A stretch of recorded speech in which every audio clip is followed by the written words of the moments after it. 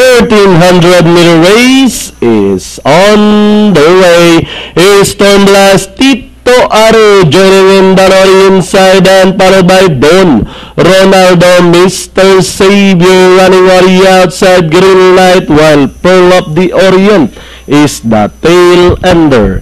Heading towards the half moto, Tito Aru being joined by Stormblast from the outside, then followed by Mr. Savior in third. Next in line, Don Ronaldo as they race at a 600 is Stormblast with Jesse Basilio Guse takes the command and running in second is Tito Aro, Mr. Savior trying to get closer in third. Don Ronaldo still in fourth as they race for home. Is Stormblast on hands up. Jesse Basilio Guse still with tight range in front. Moving up to take second. Ari outside Mr. Savior Tito Aro and down the stretch and the finish line is Stormblast still leading the field By about a lang gonna Mr. Savior about to throw the challenge, grabbing the lead.